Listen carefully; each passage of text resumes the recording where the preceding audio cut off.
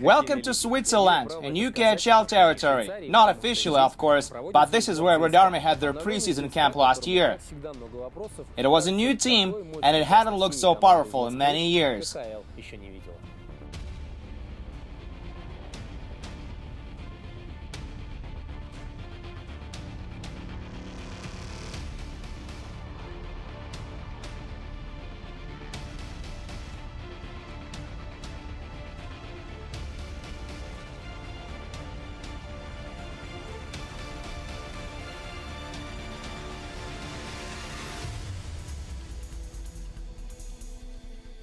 Red Army changed a lot even compared to the year before that. In two seasons' time, it was practically a brand new team. They wanted to become one of the best KHL clubs, and it cost them. But now it's a team you can't ignore. Some love them, some loathe them, but everybody takes them seriously. The media is all over the team now. Many fans can't wait to see them fail, and many were not disappointed. Sergei Fedorov keeps rebuilding Red Army his own way despite all the criticism. A former hockey superstar is now a busy manager. Red Army's main sponsor set a bar high enough, giving him the best way to learn about sports management. The club's patron is Igor Sechin, president of Rosneft. His mission is to make Red Army one of the league's top clubs. One of his priorities is building a new rink for the team. New arena is expected to hold 20,000 people. Red Army ended last season with high hopes as a new team, and the fans expected them to do just as well as the unbeatable Red Army teams of the past. Last year they signed Alexei Morozov, Ivan Nepryaev, Fedor Fedorov, Ilari Filppula, Alexa Prikin, and many others.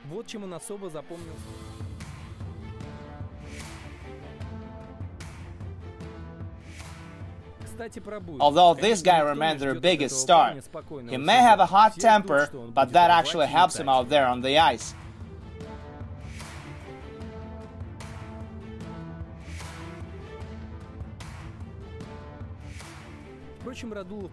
It is not the same Radulov though. He's gotten older and working with Alexei Morozov also had its toll on him. It is hard to believe in it, but it's true.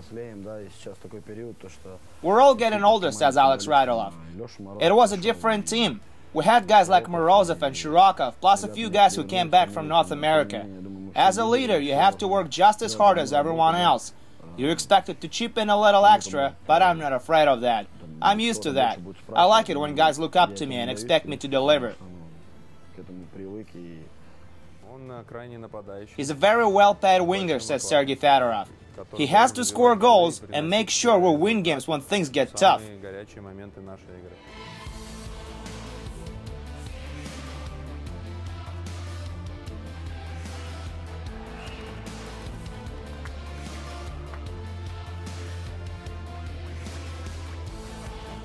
However, when it came to the playoffs, Radulov couldn't help his team. He was out with an injury, and without him, Red Army was an easy prep for SKA St. Petersburg, who swept them in the first round. The year before that, Red Army lost to Dynamo Moscow in the second round, much because Radulov was shot down by the blue and white. Even the new Red Army team couldn't get the job done without their biggest star. Many believe it was mainly the fault of the coaching staff. For the first time in history, Red Army was coached by North Americans. It seemed impossible 30 years ago, and yet it was a reality. The bar was set so high that only a handful of Russian coaches could fulfill the expectations, but Red Army couldn't get their hands on them in time. This is why the club hired John Torchetti and Dan Brooks, but they had to let them go the very next summer. Everybody wants to win the Stanley Cup overseas overseas, and we want to win the Gagarin Cup here, says Vladimir Zharkov. Our goal for the season was very clear. It wasn't like, let's make it to the playoffs first and see what happens next. No, our goal was to win the Gagarin Cup and become KHL's best team. Torchetti didn't want to adapt to KHL hockey. Instead, he brought over the North American model, meaning he had his top six guys and two checking lines. He was very straightforward in his approach. He didn't want us to waste any time in our zone. He wanted us to get on the rush as soon as we get the puck. He wanted us to put high pressure on our opponents. I wasn't surprised by that. He also had a whole set of unique drills that I've never come across in North America. It was very interesting working with him. Red Army's goalie coach is a Finn named Jari Kaarela. He used to work with Lokomotiv before. His main focus is to make us think, says goalie Ilya Proskuryakov. He doesn't want to see us just moving around pointlessly. He wants us to make the right decisions so we could get better results.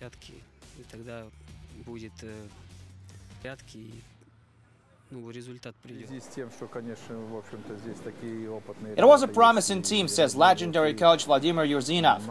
They had experienced guys like Radulov and Morozov, but they also had a lot of talented young guys from their junior team. They had great strength, skill, and the right mentality since they already won the cup in the junior league. I'm glad they're getting their chance with the pro team. I hope they'll do well. One key issue Red Army needs to address is the turn-up at their home games. They need to bring fans back to the rink. I believe the team needs a new rink, says Valery Kamensky. Simple as that. We live in the 21st century. Fans are looking for entertainment and comfort. They want to enjoy hockey in the best possible way. This is how you bring them back to the rink. This and winning, of course.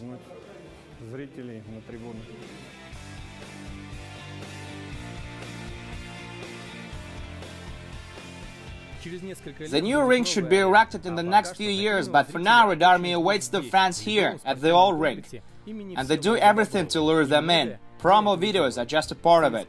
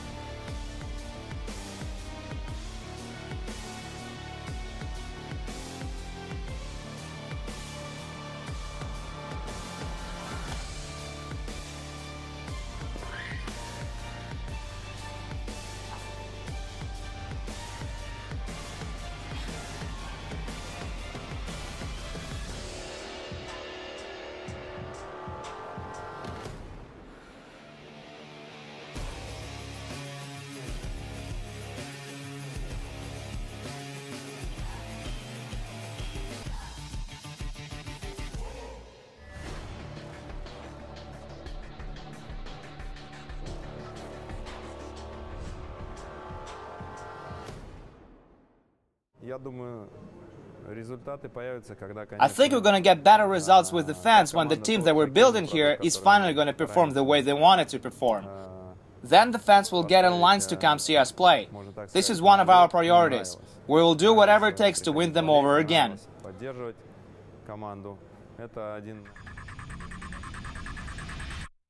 Red Army is now one of the most intriguing teams in the KHL, despite their mediocre playoff record in recent years. This season is going to be once again a new team with a new coach and a dozen new names in the roster.